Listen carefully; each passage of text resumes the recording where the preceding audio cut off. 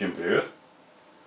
Хочу сегодня вам предоставить на обзор вот такой вот станочек, даже я бы его назвал. Это так называемый пантограф или устройство для копирования. Копирования каких-то деталей, ну в моем случае это рукояти ножей. А, собрал я его собственноручно, нигде не продается такого рода. В общем, э, саму идею постройки подал мне Александр Пономаренко. Есть такой человек в Ютубе, немалоизвестный в определенной сфере. Так вот, посмотрев его видео о пантографе в его исполнении, мне пришла идея, то, что можно собрать более точный и совершенный пантограф. И, как мне на первый взгляд казалось, более простом исполнении. Но на деле как бы с исполнением я ошибся. Пантограф достаточно такой трудоемкий у меня получился процесс его создания.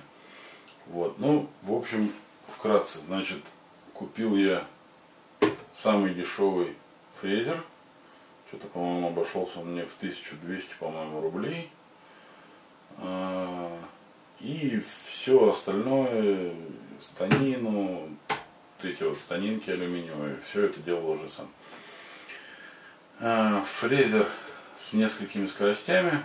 Тут на ручке меняется скорость, есть такой вот а, не реле, а резистор вращается.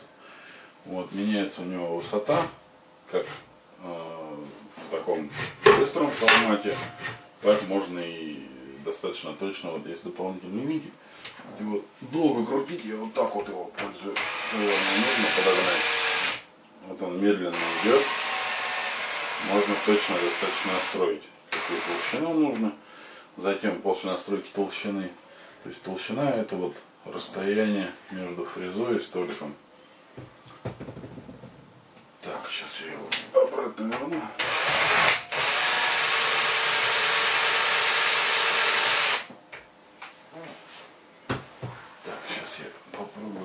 сфотографировать.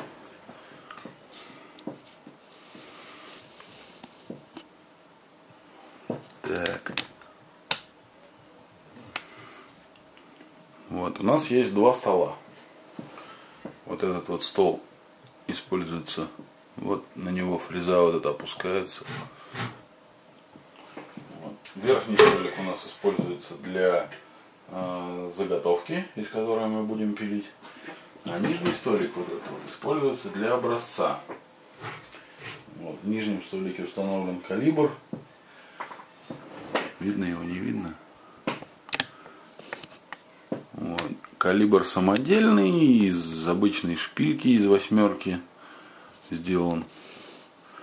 То есть вот на этот вот столик крепится образец, по которому будет происходить, э, вводится по нему калибром и значит из верхней части заготовки в это время фреза стачивает с заготовки э, слои. И сначала мы равняем заготовочку, какую толщину нам надо, снимаем лишний слой материала. Вот здесь вот.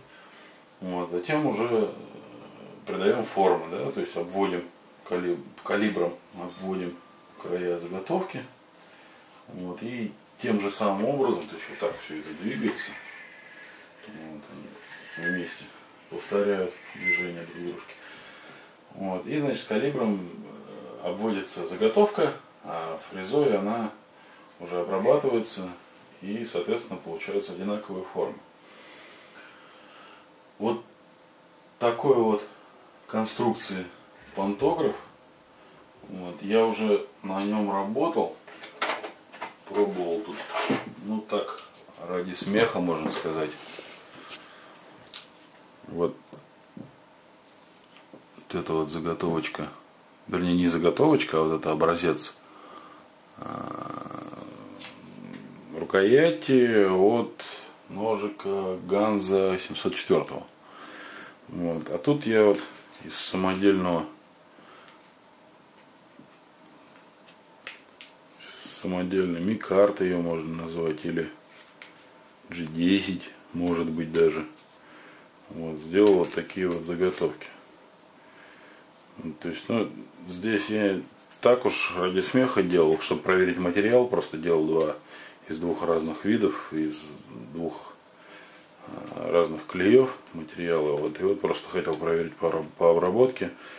Вот этот вот сделан зелененький из э, эпоксидной смолы, э, наполнитель тряпочный, это ситец, вот, и добавлена красочка, то есть добавлен колер, краситель. Вот, но он здесь не точный, ну то есть вот видно, да? Вот эти вот выемки, как и на оригинале. Выборка вот здесь вот на этом ноже аксислок используется. И вот выборка под пружину, под механизм аксислок, вот я его повторил. Вот. Но здесь я уже не делал вот это углубление под э, сам аксислок, потому как сама эта накладка уже никуда не пойдет, то что у нее здесь вот уголочек у нее не попал в размеры. Тут, тут уголок. Видно, не видно. Вот он торчит. Я поэтому особо заморачиваться не стал, просто попробовал, как это будет выглядеть, сколько это сил будет затрачено на это. Вот здесь немножко поподробнее сделал, но вот эта рукоятка, она гораздо тоньше, чем э, оригинал. Немножко я промахнулся с глубиной. Вот, ну, так. Ну, примерно вот, примерно вот так вот. Ездит скользкая, так, наверное, лучше будет держаться. Вот настолько точно все это обрабатывается.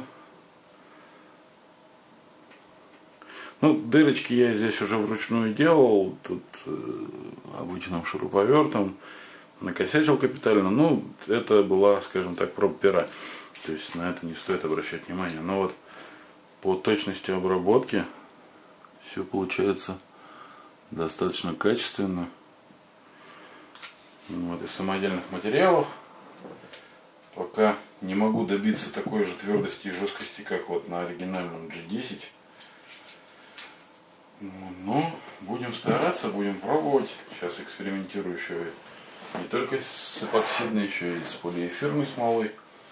Ну да ладно, посмотрим, что получится дальше. Наделал я таких вот заготовочек. Тут с толщиной промахнулся. Тут 4 слоя вроде как. Но надеялся, что будет толще. Получилось, по-моему, 3 миллиметра или 4. Ну совсем никуда. Вот. И вот эти вот две, два варианта. Вот этот вариант зелененький. Это эпоксидная смола с красителем, с колером. Колер я использую вот такой вот. вот. Но обычный колер для красок, этот вот универсальный.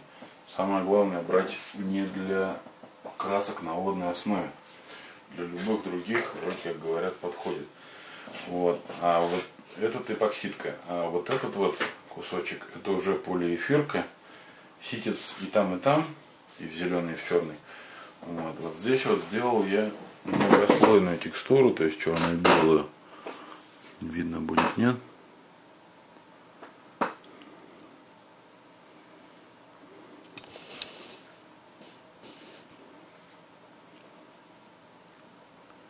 Фокус где ты? Вот она, вот ее видно. Вот, черно-белая текстура, но а, рукоять сделал тонкую, пока не пробовал сделать в ней, допустим, там подпальцевые выемки и, естественно, никакого рисунка. Вот, как бы попробую, как это будет выглядеть все наглядным образом. Будет видно, когда рисунок будет образовываться. Ну, ладно, сейчас не о ней. Так, далее по пантографу. Значит, калибр, э, у калибра тонкость такая, что он непосредственно должен быть одинакового диаметра с фрезой. Давайте камеру снимаю, поближе покажу. есть вот так вот у нас выглядит нижняя часть. Это столик для образца. И вот так вот выглядит, ну, вот так вот, выглядит верхняя часть. Это столик для заготовки. Тут у меня уже пошарпанные такие дощечки. Для столика я использую вот эти дощечки. Это обычный ламинат. Он, как правило, всегда одинаковой толщины. Ну, имеется виду одна доска. Достаточно точно. Вот. И здесь тоже вот ламинатная дощечка. На нее креплю я образец. Креплю на скотч. Ой, к сожалению, у меня под руками нет его. Такой же скотч использовал Саша Пономаренко. Привет ему, кстати, огромный. Это ссылочку на это видео я ему обязательно скинул, я ему обещал, когда смотрел его видео, писал ему письмецо небольшое. Вот. Э, использовал я такой же скотч, как и он. Попробовал, в принципе, неплохо, но иногда он не выдерживает. Поэтому, э, особенно заготовку, образец нормально держится, а вот заготовку, вот видно, отверстие вот здесь вот э, притягиваю саморезами по краям. Вот. И вот таким вот макаром опускаем, подгоняем высоту. Здесь зажимается. Здесь есть вот такой вот рычажок у фрезера. То есть, когда мы его опускаем, вот этим рычажочком мы зажимаем и фиксируем. Чтобы запомнить, например, высоту, есть вот такой дополнительный шток. Вот он опустился, уперся в свое место, да? Мы его зажали, все. Ниже мы фрезер не опустим, чем вот этот шток нам позволяет. Вот, но это из дополнительных бомбасов. Вот, то есть мы опустили мы фрезу. Фреза у нас коснулась столика. Вот этого. Вот. И то же самое происходит с калибром. Калибр тоже коснулся столика. То есть у нас откалибрована глубина. Если нам нужно, значит, сделать потолще накладку, то, соответственно, мы либо мы фрезу чуть-чуть приподнимаем вот в этой вот трубке посадочной, да, здесь цанга стоит, мы внутри цанги ее можем вот туда-сюда двигать. Вот. Либо мы вот этим вот болтиком регулируем глубину, которая нам нужна. Вот. Ну, проще фрезу регулировать. Тут, э, как говорится, вот эту гайку ослабил, фрезу насколько надо приподнял вверх, гайку затянул. Все. Вот. И дальше поехали, то есть у нас лежит заготовка, и мы по ней ведем. Ведем туда, сюда, вот все это обрабатываем. Вот. Я покажу обязательно работу этого фрезера, только не в этом видео. Сейчас просто уже поздно, соседи спят, а машинка так, ну, ради примера, быстренько включу, но все равно это немного покажет.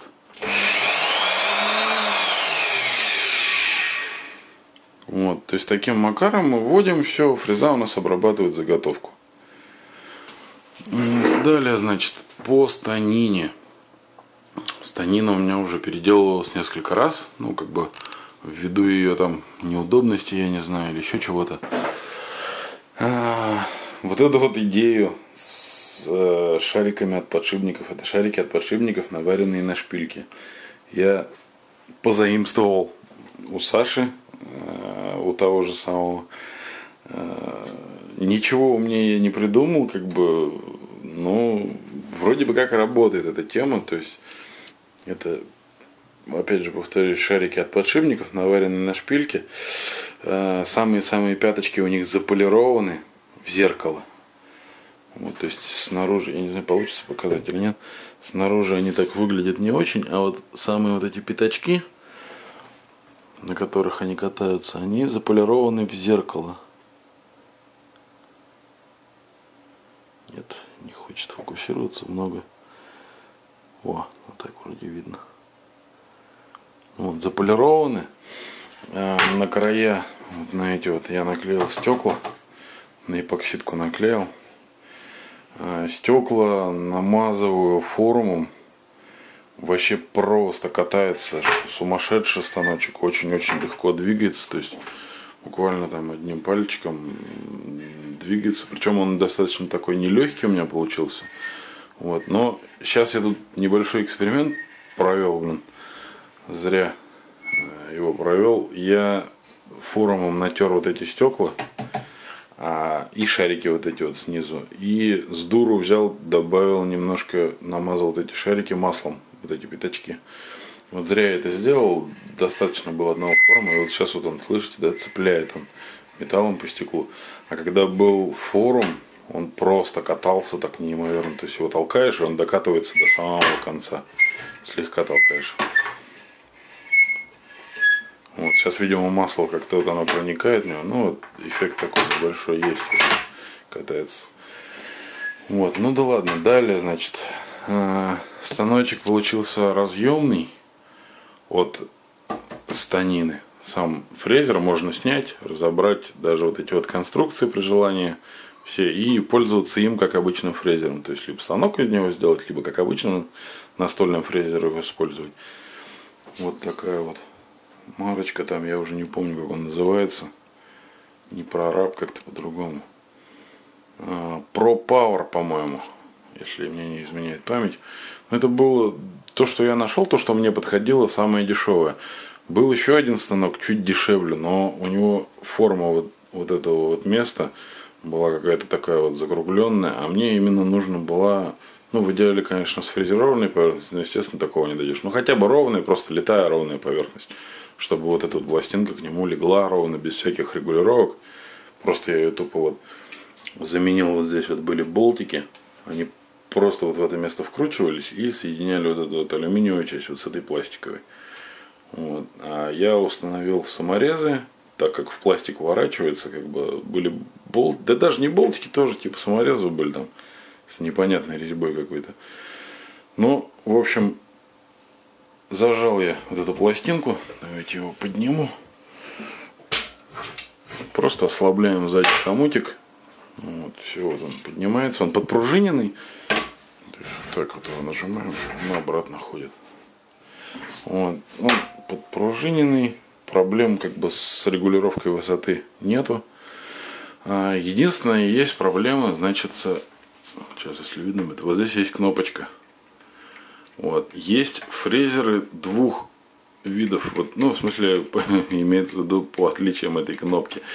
А, есть приборы, которые сначала мы курок нажимаем, и потом зажимаем кнопку, и у курок у нас остается зафиксированным, да, чтобы на беспрерывную работу. Вот, но здесь не такой случай. То есть, чтобы здесь нажать курок, я курок нажать не могу. Мне нужно сначала нажать эту кнопку, а уже потом нажимается у меня курок. Так, что-то вот камера у меня опять, по-моему, начинает глючить. Наверное, я сейчас отвалюсь. Так, давайте я нажму на паузу, разберусь с камерой потом продолжим. Так, ну, в общем-то, все, разобрался я с камерой. Как оказалось, закончилось место на карточке. Видео по-быстрому слил. Карточку я форматнул. Продолжаем.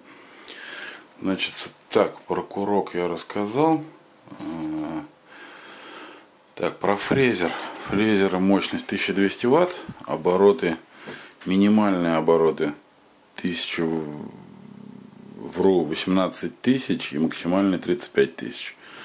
18 тысяч, конечно, многовато для таких задач, но в принципе вот фрезуя уже использовал, фреза не горит, Э, материал не жгет, работает нормально. Как бы проблем с этим нету. А, значит, дальше по конструкции немножко расскажу. Про эту пластиночку я рассказал уже, закрепил ее просто саморезами, обычными саморезами по дереву, притянул в пластик и все. А, она сама отрегулировалась, вот об эту вот поверхность, да, она вокруг тут везде, со всех сторон. Значит, дальше. На пятку самого фрезера, да, то есть, то есть той частью, которой он э, движется в нормальных условиях по заготовке, э, установил вот такую пластину. Пластину ставил как можно шире и длиннее, вот, чтобы обеспечить, ну, чтобы вот не было вот таких вот завалов, да, там, э, если маленькую поставить, то есть завалить его будет легче гораздо, когда работа идет, а если завалишь, все, считай, заготовка испорчена сразу же угол поменяется, все, уже будет обработано, ну, лишний материал будет обработан. Вот, поэтому пластинку ставил гораздо шире. Чем шире, тем лучше, чем длиннее, тем лучше, соответственно, но в разумных пределах. То есть вот он у меня получился. Так, есть у меня тут рулеточка. Можем мы его сейчас попробуем померить. Так, давайте наверное, камеру поставлю. Было удобнее, сподручнее. Так, значит, ширина у меня получилась 52 сантиметра. Глубина станка 36 с половиной. Высота станины 40 почти 40 39 с половиной. Ну высота с фрезером примерно 70 сантиметров. Вот но тут как бы вот эти вот ноги они уж так сделаны больше для удобства вот здесь вот вот эти вот части вот, их можно по сути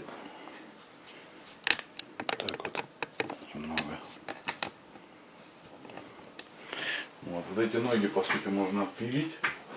Вот, станок будет ниже, но я работал, как бы у меня стул стоит, перед ним небольшая тумбочка на балконе. И вот мне с этими ногами было очень удобно работать. То есть, ну, можно место подобрать такое, как сказать, подручное. Вот. Но при желании ну, ноги можно убрать, станок будет гораздо ниже, покомпактнее будет, так скажем. Значит, далее по станине. Станина сделана из 16, 16 миллиметровой. Да, 16 миллиметровая фанера. Вся полностью. А здесь вот я сейчас поближе покажу. Специально задумывал, как задумывал, так и сделал.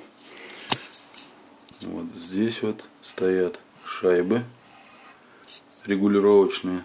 То есть можно чтобы у меня основная задача у меня была вот, вот эти два столика, вот, вот этот вот нижний, ну то есть вот этот и вот э, верхние столики, они должны быть абсолютно параллельны друг другу. Вот. И, соответственно, вот этот большой стол тоже должен быть параллельным, чтобы заготовка вдоль не получалась такая под конус, да, чтобы у нас все было. Вот. Ну, в принципе, мне все удалось без особых проблем. Да, единственное, я, вот здесь у меня тоже лежат регулировочные шайбы. Вот, под задней частью, вот ее видно. Да. Торчит у нее вот здесь вот хвостик небольшой. Вот. И с этой стороны то же самое. То есть а, можно регулировать. Ну, можно было до наклейки стекла, конечно. Сейчас под стеклом уже, потому что под стеклом они зажаты так вот саморезами. Здесь, здесь вот тоже саморезы. А, в виде ограничителей и в то же время вот, вот этот столик поддерживает а, болты на 6 сделал с шайбами это квадратная трубка квадратного сечения такая вот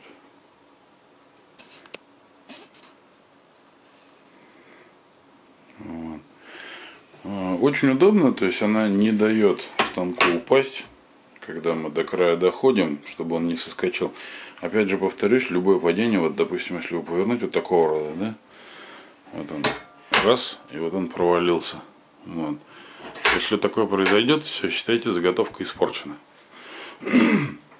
Если делать, допустим, из покупных заготовок, там, ну, достаточно дорогие материалы получаются, то есть грубо говоря, один раз у вас станочек упал и 500 рублей вы, можно сказать, выкинули. Ну, не 500, пускай 250, потому что одна заготовка. Но все равно будет очень обидно. Поэтому старался немножко как бы обезопасить самого себя от ошибок. Вот. Ну, достаточно удобно получилось. То есть он не цепляется в тех пределах, в которых мы работаем, да. То есть вот у нас так вот опущу ее,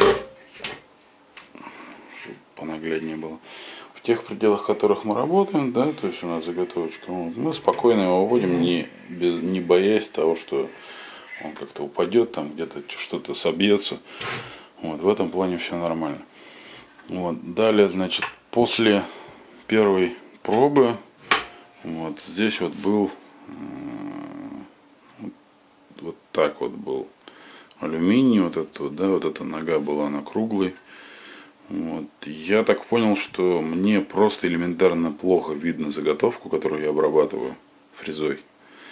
Вот. Либо приходится заглядывать вот сюда вот, вот в эту щель.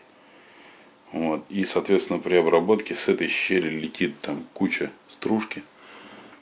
Обязательно вот таких вот очочках работаю, чтобы не повредить глаза, не дай бог.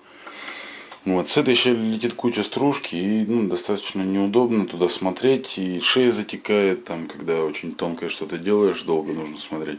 Вот, поэтому решил особо не париться. Короче говоря, взял, а, вырезал и вот эту станинку, и в смысле и саму пятку фрезера, и саму станинку по контуру. Даже не снимая его, прям так резал. Правда, резал так, что аж дремелевский вал, вал порвал. Потом по нему отдельное видео сделаю, выложу. Вот. Был сам в шоке, что ну, вроде как качественная вещь, а так легко она щелк и лопнула. Ну ладно, это потом. В общем, вырезал вот такое окошко. Теперь резать очень удобно. Сейчас есть мысли вот сюда вот э, сделать, просверлить и поставить какой-то небольшой маленький фонарик на батареечке какой-нибудь автономный такой, чтобы чик его включил, он сюда вот светил вместо обработки, было бы очень удобно. Вот, ну и что-то подобное повторить вот здесь вот на заготовке. Заготовку более-менее видно, в принципе там никаких проблем особых нету. Вот, но для удобства не исключаю такой возможности, было бы здорово. Вот, значит, все собрано у нас на шпильках, шпильки на 8 вот. Гайки, шайбы, все это продается в ближайших, как говорится, магазинах крепежа, левша там и прочее. Вот здесь собраны гаечки, здесь то же самое. Вот. Сам калибр это шпилька на 8. Будет фокус, нет?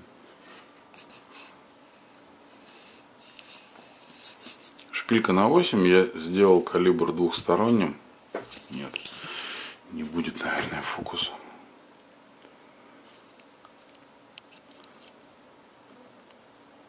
Вот, вот так более-менее видно. Шпилька на 8. Вот здесь вот сделана такая тоненькая часть. Сейчас его может так вот опущу, может лучше будет видно. Вот снаружи сделана, да, такая тоненькая, пипка такая, пипирка. Вот. Это диаметр 3 миллиметра. Вот. Здесь э, снизу сделана более толстая часть. Здесь диаметр 6 миллиметров. Вот. Делал из обычной шпильки на 8, просто зажал ее в дрель и прикладывая напильник, вот так обточил. Получилось очень точно, качественно, мерил микрометром. Второй раз его делал, первый раз маленько промахнулся.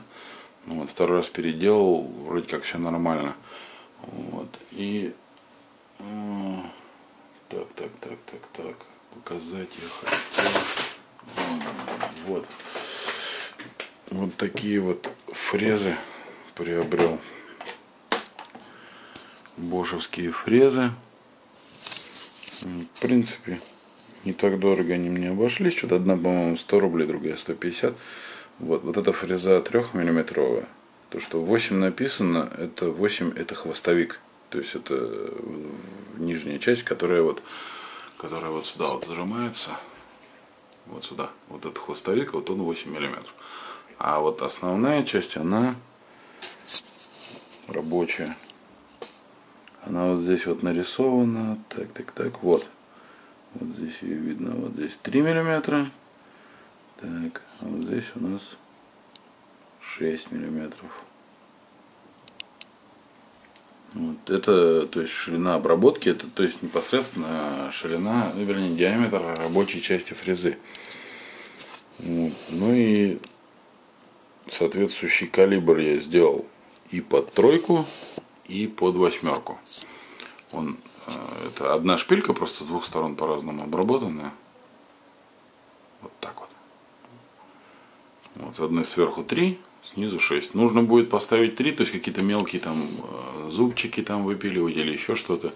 Просто вот этот калибр мы берем, от, распускаем гайки, переворачиваем его наоборот и восстанавливаем. Вот, ну, что еще рассказать? В принципе-то все, наверное. Такая вот конструкция, да. Вот эти вот панели все крепил, все замерял, какими было возможными способами. Параллельность, чтобы соблюдалось между ними. Вот, вот эта вот пластиночка, вот, вот эта пластина и вот эта, они абсолютно параллельны. Вот э, здесь столик, то же самое, все абсолютно параллельно друг другу. Вот, ну, в общем, достаточно точно получается копирование. Так, вот так вот станочек сзади выглядит у нас. Вот здесь э, спереди у меня сделана сквозная, вот эти вот проточки. То есть, э, если нужен будет фрезер, мы вот эти вот болтики отворачиваем, планочку снимаем, фрезер у нас выезжает сюда, снимается полностью. Вот, и при желании, ну, элементарно даже, если куда-то нужно будет перевести, там, передвинуть его, э, достаточно удобно будет. Не надо такую громадину, не в каждый багажник 70 сантиметров влезет, ну, разобрав его, получаем гораздо ниже. Вот так вот он у нас сзади смотрится. Вот, сзади тоже еще одна планка, но здесь уже столик, он монолитный, то есть я его обперил э, лобзиком, вот, а планку приделал, чтобы был просто ограничитель. То есть об, об него вот, ножки упираются, все, у нас дальше он никуда не едет.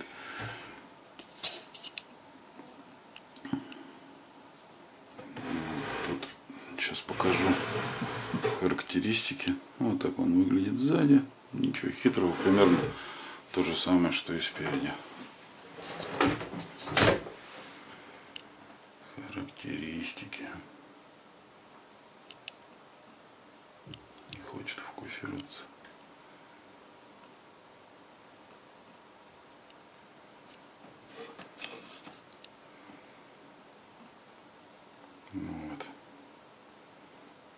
1200 ватт, минимальные обороты, максимальные обороты. Фрезер, сразу говорю, недорогой, один из самых дешевых. Но, кстати, на удивление, э, знать не знаю, обзоры не смотрел, увидел, просто купил. Э, был крайне удивлен, когда его разбирал, этот сам фрезер. То есть мне нужно было, чтобы его закрепить, разместить, мне нужно было его обязательно разобрать. В общем, когда я его разбирал, проверил, вот, покачал именно сам вал рабочий. Вот, абсолютно нет никаких люфтов. То есть вот в этом месте, вот, если его качать туда-сюда, ни вперед, ни назад, ни в бока, никаких люфтов, все четко. Вверх-вниз никуда он не дергается. Настолько вот это четко сделано. Не знаю, будет видно как бы со временем, конечно, что он там из себя покажет. Вот, но достаточно качественно сделан могу рекомендовать для покупки. Ну, по истечению времени, если что-то случится, видео обязательно сниму, все покажу. Ну вот, в общем-то, все, что хотел рассказать, показать. Да, кстати, э, посмотрел я предыдущий отрезок видео до косяка с камеры, посмотрел то, что когда заготовочки показывал, и фокуса вообще абсолютно никакого не было. Давайте сейчас попробую показать поближе.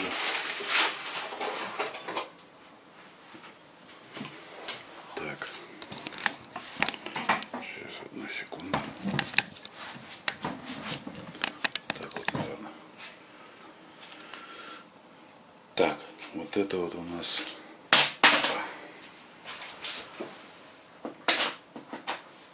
она улетела.